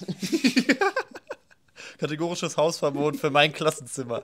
Das Oder? begrüße ich, absolut. Ja. Wenn man sich tatsächlich ein differenziertes Bild machen muss, dann ist es exakt das, was ich am Anfang gesagt habe, nämlich Krieg kann man nicht reduzieren auf einfach nur Würfelspiele, Nationen, Armeen, Zahlengrößen und so weiter und so fort. Krieg hat immer eine notwendige ökonomische Komponente. Aus dem Kapitalismus kommt aber kein Krieg. Also dann, tut mir, dann, tut mir, dann musst du wirklich die Verfassung der Demokratien, in denen wir leben, einfach nur durchlesen. Da steht nirgends drin, wir leben nur durch Krieg. Das ist ein völlig falsches, ähm, also sorry, eine völlig falsche Wahrnehmung in meiner Bewertung. Was? Kollege. das sehe ich aber ein bisschen anders. Ja, also das sind halt auch alles so Punkte. Also da muss man doch auch wirklich einfach sagen, ja natürlich, irgendwie einfach ein Überfall, sagen wir mal jetzt auf Großbritannien, wenn es irgendwelche Uneinigkeiten über Zölle für irgendwelche Industrieprodukte gibt, ja, das benötigt es nicht mehr. Da hast du auf jeden Fall recht.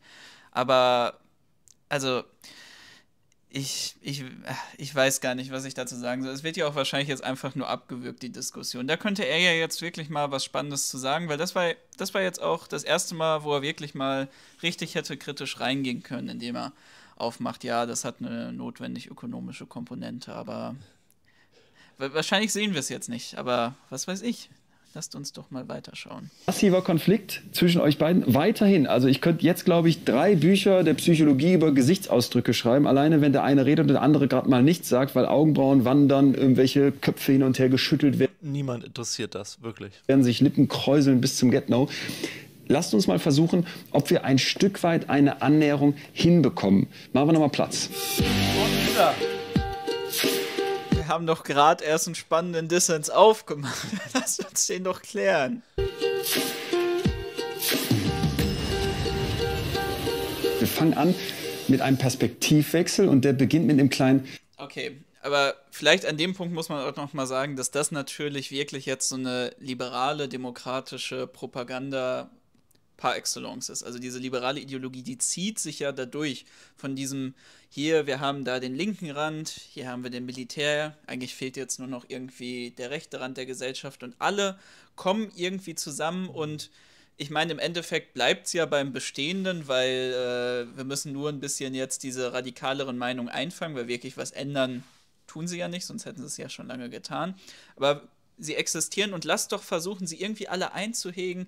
Dann machen wir mal ein paar Spielchen, ein paar Kennenlernrunden, werfen uns einen Ball zu und sagen uns unsere Lieblingsfarbe, zählen uns dann noch irgendwie einen Schwank aus der Jugend, äh, wo wir mal Gewalt angewandt haben, um irgendwen zu verteidigen. Dann räumen wir das Zimmer um, ich ziehe mich in deinen Klamotten an und dann verstehen wir uns ja vielleicht auch ganz gut. So, und dann kommen wir am Ende zusammen und dann können wir alle sagen so, ja, es ist doch eigentlich echt schön, dass wir, obwohl wir so unterschiedlich sind, aus so unterschiedlichen Blasen kommen, so unterschiedliche Meinungen haben, jetzt heute mal hier zusammenkommen konnten.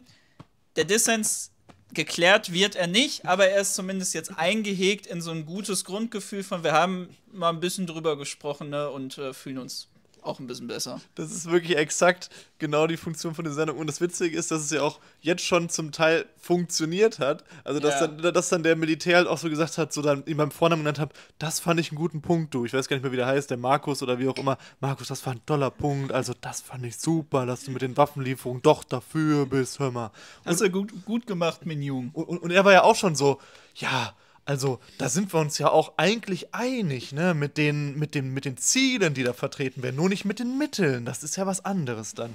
Also, das ist, und, und am Ende ähm, wird das dann auch wahrscheinlich noch so aufgebaut, dass sie sich so, ja, wir sind jetzt nicht ganz auf einer Meinung, aber wenn er mich zum Kaffee einladen würde, ist doch ein netter, ne? Also, das ist. Gehen wir mal zusammen in eine Schule. Kleider tauschen, nenne ich das mal.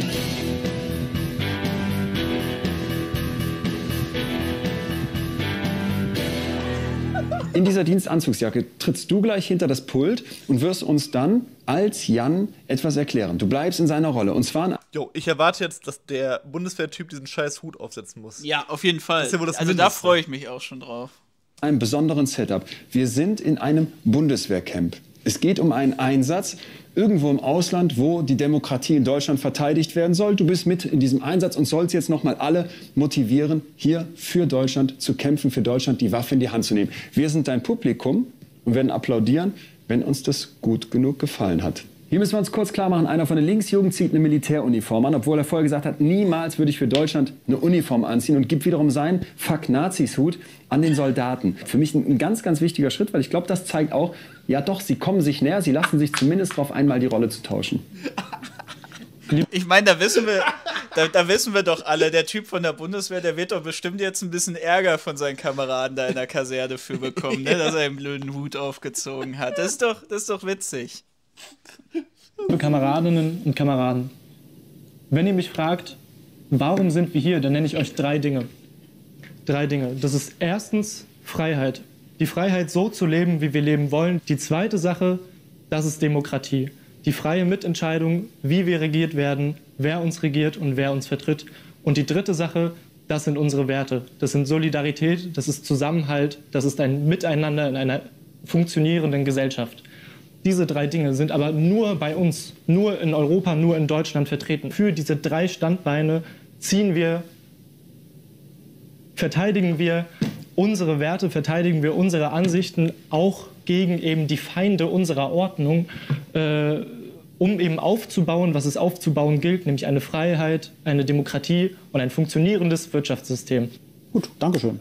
War alles drin, was dir wichtig war? Ähm, bestimmt nicht alles, ein paar Nuancen noch, aber in die richtige Richtung geht es. Dann tauschen wir jetzt die Rollen. Nicht geklatscht, er hat es echt verdient gehabt. Come on. Ich fand's auch, fand's stark.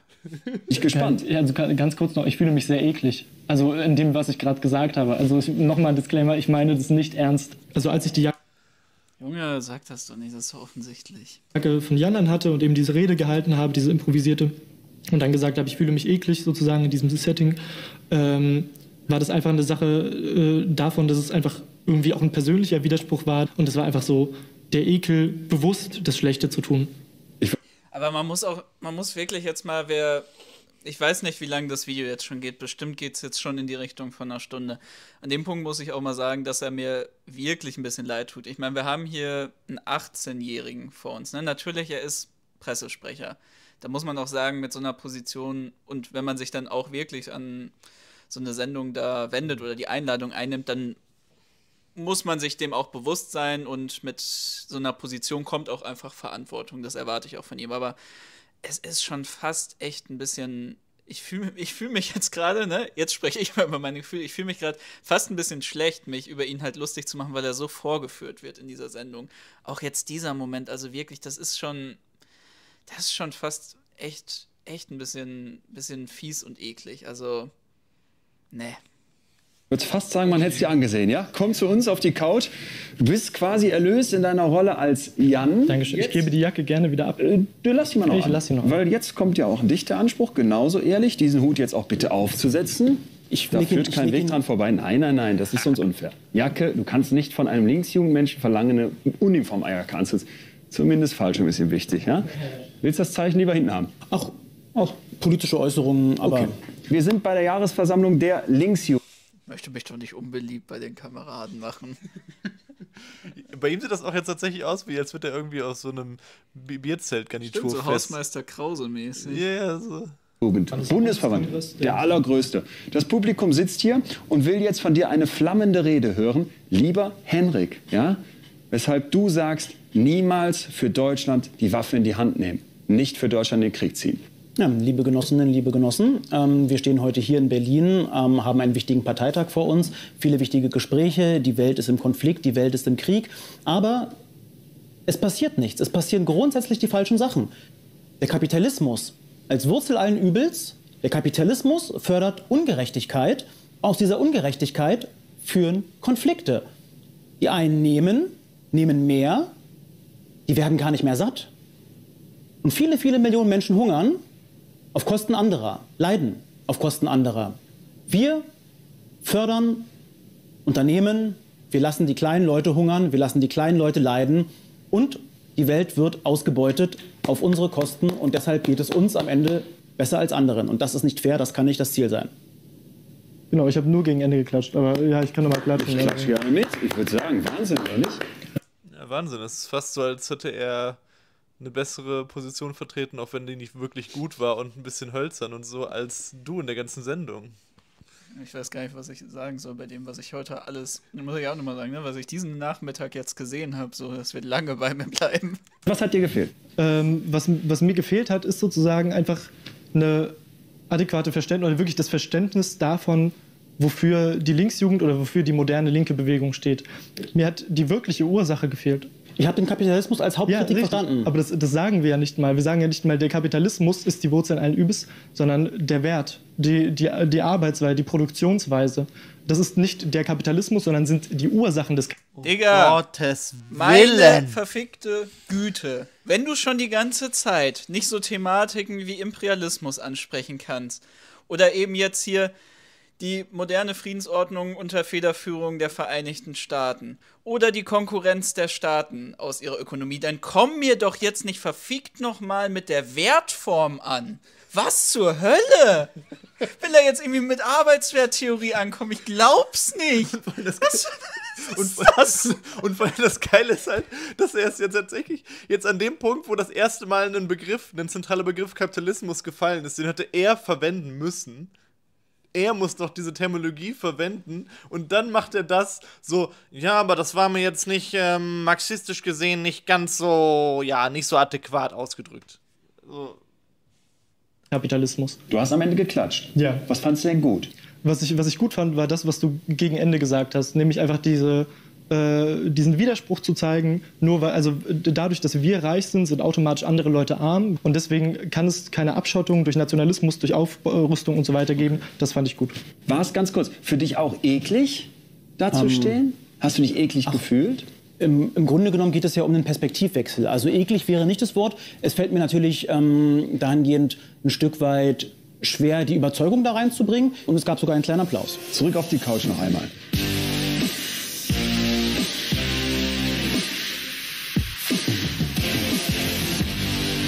Er findet es eklig, du applaudierst. Hast du das Gefühl, dass wir hier im Laufe des Gesprächs näher gekommen sind? Ich denke, das Gespräch, das im Grunde genommen auf einer respektvollen Ebene stattfindet, bringt uns auf jeden Fall weiter, weil es natürlich Horizonte erweitert. Was sagst du denn? Seid ihr euch näher gekommen? Ich glaube im Großen und Ganzen eigentlich nicht. Ich finde, wenn man sich näher kommen kann, dann nur durch den Blick auf die tatsächliche Sache. Und ich glaube, wir haben in der Sache verschiedene äh, Ansichtspunkte. Wir sagen natürlich, wir reden über die ganz großen Themen, über die große Weltbühne und trotzdem Immerhin das, ich bin so erleichtert, dass er nicht sowas gesagt hat wie, ja, ich fand dich eigentlich ganz sympathisch oder so. Das wäre echt schlimm gewesen. Am Ende des Tages sind es immer Menschen, die miteinander reden. Der Mensch, Jan, wie wirkt er auf dich? Also von meiner Einschätzung bist du, glaube ich, sehr, sehr ordentlich, sehr, was heißt nicht strikt, ne, aber sehr prinzipiengetreu. Das kommt doch, aber es wird angeleitet, dass es kommt, weil es nicht kam von alleine. ähm, und eben sehr überzeugt von dem, was du tust, sonst würdest du dafür nicht bereit sein zu sterben. Auf der anderen Seite glaube Toller positiver Wert, so. Du bist überzeugt davon, was du tust. Ja, toll, halt. Nazi kann auch davon überzeugt sein, was er tut. Ist das ein positiver Wert für sich genommen? Junge. Ich, dass dahinter eben genau diese Verzweiflung steckt. Diese Verzweiflung, dass man sagt, unterbewusst, also eigentlich geht es mir nicht gut, Aber der Krieg ist nicht zwangsläufig ein Ausdruck von Verzweiflung. Er ist teilweise eine Notwendigkeit. Und wir sind aufgeklärt genug, um zu wissen, dass Krieg furchtbar ist, aber an gewissen Stellen, siehe Ukraine, scheinbar notwendig. Ich finde es interessant, ähm, deine Argumente. Eigentlich geht es mir nicht gut. Ja, das, das, Deine Gewalt ist nur ein stummer Schrei nach Liebe. aber das ist, das ist so, das ist auch so ein Ding. Das ist so ein Ding, was Linke oft sagen, so, wenn Leute, die, die für das Bestehende eintreten, die dann halt sagen, ja, bla bla bla, das ist alles ganz toll, Deutschland und so und Demokratie und so, dann sagen die ganz oft, ja, aber eigentlich geht es dir doch auch nicht gut. Ich weiß doch, dass du auch darunter leidest unter den Zuständen und so weiter. Ja, sorry, aber wahrscheinlich leidet der Typ auch tatsächlich nicht wirklich unter den Zuständen. Also irgendwo schon, halt ganz abstrakt in dieser, in so einer, ne, aber konkret ist das doch ein absoluter Profiteur dieses Systems. Naja, er ist kein Profi. Also, das finde ich auch, da, na, da würde ich dir sogar echt ein bisschen widersprechen. Da kann man sagen, natürlich, das, das ist wahrscheinlich, er hat es jetzt nicht scheiße, ne? aber die, die allermeisten, die auch im Bund sind, die Ja. sind keine Profiteure, das sind irgendwelche, irgendwelche verarmten Ossis oder Natürlich. irgendwelche äh, armen Jungs aus Westdeutschland. Ja, so. aber ich spreche doch nicht von denen, sondern Nee, ich natürlich sprech von dem Hauptmann. Von dem, wie er sich da hinstellt und wo, wie er über diesen Militärdienst, das ist natürlich eklig. Er ist jetzt im Vergleich in diesem ganzen Komplex noch ein Profiteur. Aber man kann ja auch sagen, so, ey, so schön und gut, e egal was du jetzt für ein Charakter bist, kann ja sogar sein, dass du charismatisch und nett bist. Ist ja auch Teil von deiner Jobbeschreibung. Man muss ja jetzt nicht irgendwie hinstellen und dann sich zum Hampel machen, machen indem man sagt, ja, eigentlich ist das ja auch voll das doofe Arschloch und so, finde ich voll blöd. Ich finde Nee. ich eher so geht so, sondern man kann das ja auch alles sagen, so schön und gut, aber es geht doch hier um unseren wirklich inhaltlichen Dissens und die Funktion, die du erfüllst. Das ist doch wirklich der Hauptpunkt, was hier die Scheiße Ja, ist. das kann man doch auch sagen. Also er kann doch das genau sagen. So, Ja. so von wegen so, so ja, so an sich wirkst du auf mich sympathisch, aber das ist doch völlig irrelevant. Also einmal bitte diese Logik von diesem Format unterbrechen und das macht halt nie jemand. Ja. Es bleibt immer in dieser Logik von diesen Formaten. Argumentation zu folgen. Ähm, nicht, dass ich sie inhaltlich unterstütze, aber der zu folgen. Du bist ähm, in meiner Bewertung in einer Situation, in einer, ich nenne es ganz bewusst, Bubble. Mir fehlt ein Stück weit, muss ich leider sagen, die Differenzierung. Und wenn dann nur auf einer sehr abstrakten Ebene, in einer weiten Perspektive, die aber eher ideologisch basierend und weder, weniger realitätspolitisch ist. Und da fällt es mir sehr, sehr schwer zu folgen, weil ich mir sage, dass Krieg schlecht ist, das wissen wir doch. Darüber müssen wir doch gar nicht reden. Also wenn ich äh, mein gesamtes Leben lang in einem Zimmer verbracht habe und mir dann ein anderes Zimmer vorstellen soll, dann frage ich mich, auf welcher Basis. Deswegen ist Empirie schöpferische Forschung. Ne? Also wirklich mal neu überlegen, kreativ wieder sein und neue Gesellschaften entwerfen. Ähm, immer das, was dann hinten runtergelassen wird als unwissenschaftlich, als Spekulation und sowas. Krieg kann, und in ganz vielen Fällen ist er das auch, tödlich sein für Soldatinnen und Soldaten. Man mag Nein, nicht kann. Auf jeden Fall halt. Ja. Was ist das für eine Scheiße? Krieg ist immer tödlich für Soldaten. Hä? es kaum aussprechen, aber das ist ja auch ein Teil deiner Lebensrealität, der du Soldat bist. Er zieht in den Krieg, du bist jetzt sein Freund und gibst ihm was mit. Und bitte, so schwer das fällt, nur Positives, weil was will man so einem Freund sonst jetzt mitgeben? Auch wenn wir in der Sache verschieden sind, auch wenn wir unterschiedliche Ansichten haben, was notwendig ist und was nicht, wünsche ich mir, dass du wieder zurückkommst. Ich wünsche mir, dass du deinen Weg gehst und auf deinem Weg nicht stirbst, sondern tatsächlich mir, uns allen erhalten bleibst in der Form, wie du es bist. Und umgekehrt, du lässt ja auch einen Freund zurück. Hendrik, ich ähm, gehe in den Einsatz. Ich fand es unglaublich stark, dass wir uns kennengelernt haben, dass wir trotz anfänglicher unterschiedlicher Meinungen ähm, ja, auf einer freundschaftlichen Ebene zusammengefunden haben. Ich denke gerne daran zurück, ich reflektiere unsere Gespräche ähm, und hoffe, dass wir das in wenigen Monaten bei bester Gesundheit fortsetzen können. Noch seid ihr keine Freunde, nehme ich an. Und trotzdem haben wir jetzt die Situation der echten Verabschiedung. Wie läuft die zwischen euch ab? Mach's gut. Ne? Also war, war schön, ja. Okay. Also ja, vielen Dank für das Gespräch. Ich würde mich freuen, wenn wir uns auf der Diskussionsebene wieder treffen. Vielleicht gibt es ja bei der Jugend noch die Möglichkeit, einmal darüber zu sprechen und das Ganze differenziert zu bewerten, wofür die Bundeswehr steht. Ich denke, die Wow, das war, das war wirklich eins der feinsten, feinsten Stücke von so ähm, emotional ähm, moralischem Fernsehen, was ich bislang gesehen habe. Das war wirklich, muah, wirklich so feinste, feinste liberale Ideologie. Das ist so schön, dieses Bild von jetzt sogar noch dem Linken, der, wenn der Bundeswehrsoldat zu seiner ähm, Verteidigung der Demokratie wegfährt, auch noch an der Seite stehen kann und noch winken kann und sagen kann, hurra, hurra, zieh in den Krieg. Ich finde es vielleicht alles auch ein bisschen problematisch und das Eiserne Kreuz vielleicht doch nicht so historisch so das tolle Symbol, aber eigentlich, hier, wir haben uns doch auch gern. Also ich bin wirklich doch ein bisschen schockiert jetzt. Weil, also, ich meine, du hast es ja perfekt aufgebaut, was passieren wird ab einem gewissen Punkt. Und ich wusste auch, dass es passieren wird, aber ich habe nicht damit gerechnet, dass es so, so ekelhaft wird. Das war wirklich. Ich kann das nicht in Worte fassen. Das ist so abartig. Halt, und, und, und wirklich, ja. wenn ich jetzt da gewesen wäre, das kann ja passieren. Ich, ich würde ja auch, ich würde nochmal das auch bestärken, was du gesagt hast, dass mir der Typ halt hammer leid tut mittlerweile. Weil, wenn, wenn ich halt in diesem Studio wäre, wie die mit das 18, auch, mit 18, mit 18, das muss man ja. nochmal sagen, ne? wie wir auch mit 18 drauf. Waren. Also ich hätte das jetzt niemals gemacht, ne? Ich hätte das halt mit 18 niemals gemacht. Aber ähm, trotzdem, jetzt auch mal angenommen, ich wäre jetzt in diesem Studio und ich würde da sitzen und dann geht das halt in so eine Richtung dann würde ich halt äh, zuerst probieren, dem zu widersprechen oder sowas zu sagen, wie jetzt geht es nicht darum, ob das sympathisch ist oder nicht. Aber wenn ihr jetzt irgendwie so, ja, wir halten uns jetzt an den Händen und sonst was, würde ich sagen, nein, Mann, ich gehe jetzt. Also das wäre es halt auch nicht wert. Ich würde, du kannst ja jederzeit gehen. Und dann haben die halt ihre Scheißproduktion am Arsch. Dann können die das gar nicht mehr, dann können die das halt vielleicht gar nicht mehr umsetzen. Und das würde ich halt wirklich auch machen in so einer Situation, weil das ist ja so ein scheiß Kindergarten, ohne Witz. Das ist sowas von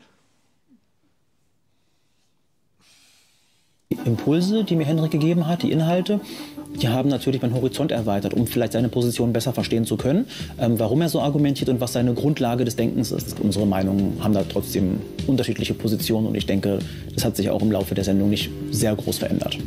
Nach dem Gespräch ist Jan für mich immer noch ein Bundeswehrsoldat in erster Linie. Ich meine, es ist auch eigentlich egal, was er jetzt noch sagt, weil wir wissen alle, was er aus diesem Gespräch jetzt ziehen kann. Aber beim Bundeswehrsoldat finde ich das nochmal spannend, weil das rundet das auch nochmal perfekt ab, was das dann eben für die Leute, die jetzt das Bestehende da symbolisieren, bedeutet.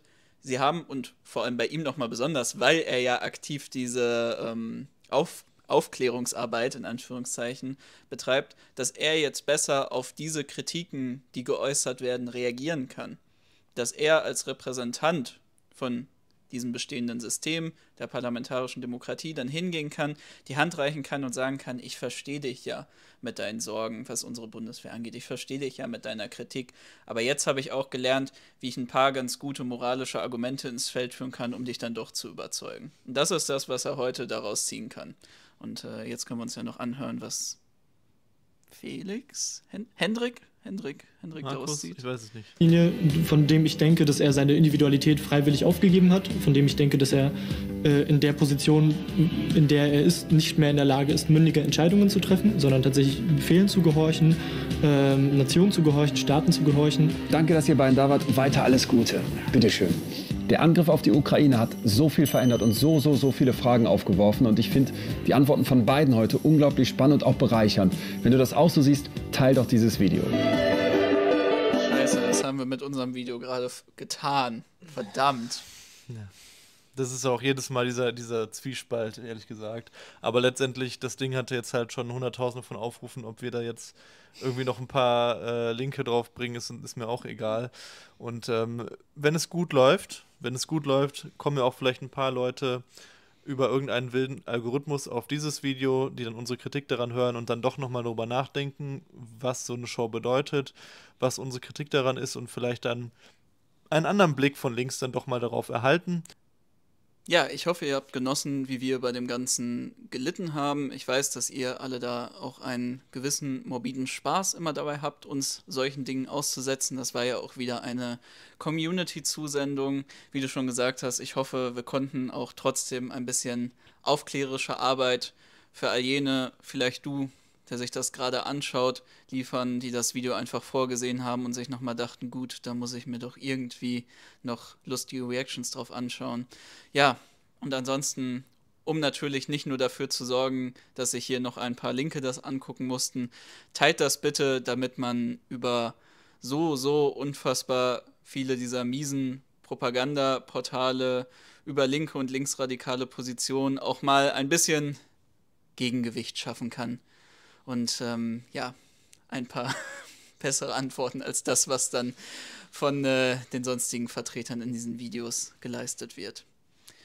Wir probieren jetzt noch irgendwie einen annähernd schönen Abend ja. hier raus zu gestalten.